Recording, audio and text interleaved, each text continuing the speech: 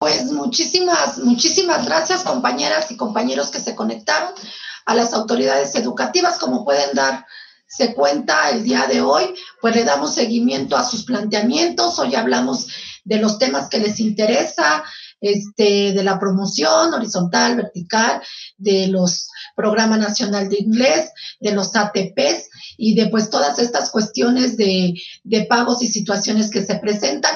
El compromiso se mantiene de buscar una reunión eh, con la Secretaría de Hacienda y Crédito Público. Eso sin duda alguna lo vamos a hacer en lo, en lo inmediato. Espero tener respuesta al igual que la tenemos con las autoridades de la Secretaría de Educación Pública, en particular con el maestro Esteban Moctezuma y con el maestro Rafael Flores. Y pues bueno, si es así, eh, estaremos ya, ya enviándoles la invitación correspondiente y los acuerdos que aquí asumimos de darle seguimiento a los planteamientos este, eh, de la diputada Lorena que me parecen muy, muy importantes que ya se resuelvan.